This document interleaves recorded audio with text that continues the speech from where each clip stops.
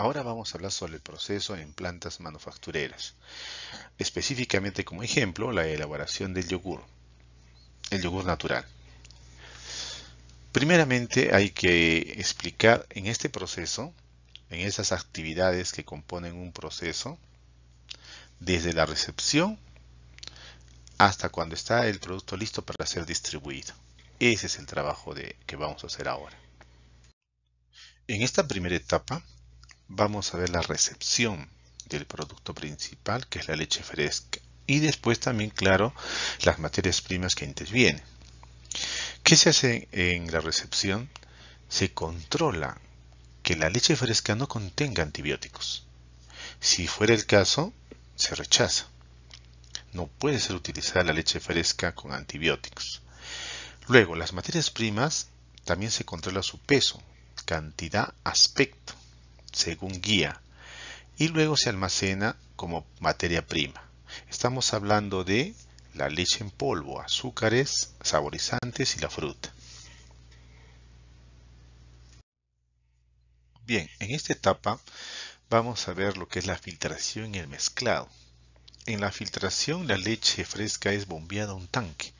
En este tanque de almacenamiento y mediante una fuerza centrífuga se logra desprender las impurezas que contenga la leche fresca. Es un proceso inicial y necesario para eliminar esa parte de la leche que siempre viene, impurezas.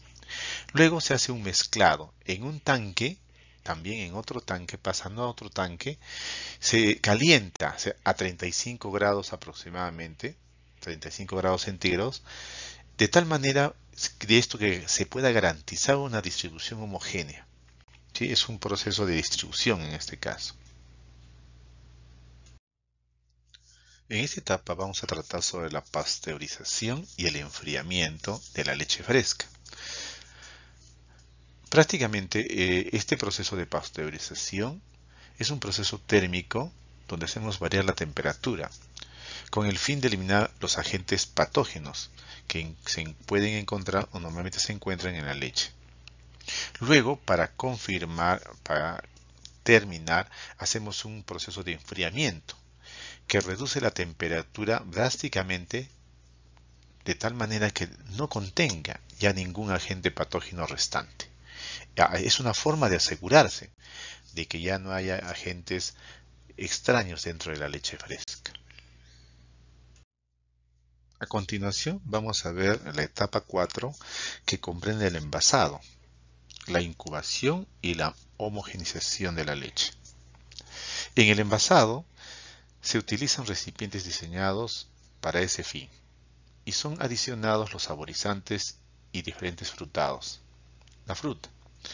Se utilizan bandas transportadoras para mejorar el proceso de traslado. ¿A dónde? A la incubación. La incubación y homogenización son dos operaciones que están una a, consecución de la otra.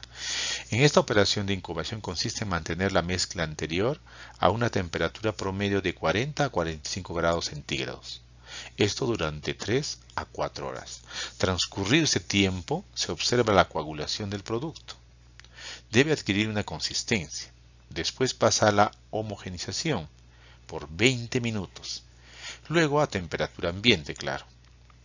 Los productos son transportados por vehículos especializados para este fin, como son los montacargas, para las diferentes áreas de la empresa donde va a seguir el proceso de enfriamiento.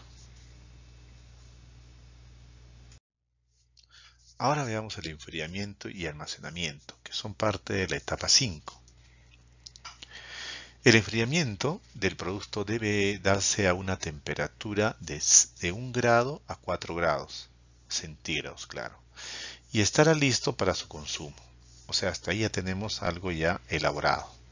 Luego tenemos que almacenarlo, obviamente. El yogur envasado debe conservarse a una temperatura de refrigeración de 1 grado a 4 grados centígrados. Esa es la conservación. En estas condiciones puede durar hasta dos semanas sin alteraciones significativas o que puedan afectar al producto.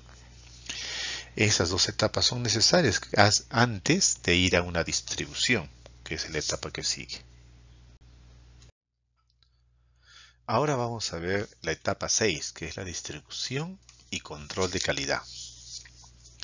En cuanto a la distribución, tenemos que saber que debe realizarse con el producto envasado. Se utilizan camiones cisterna que suelen ser de acero inoxidable para su protección del producto. Estos permiten el cuidado máximo en los aspectos térmicos e higiénicos.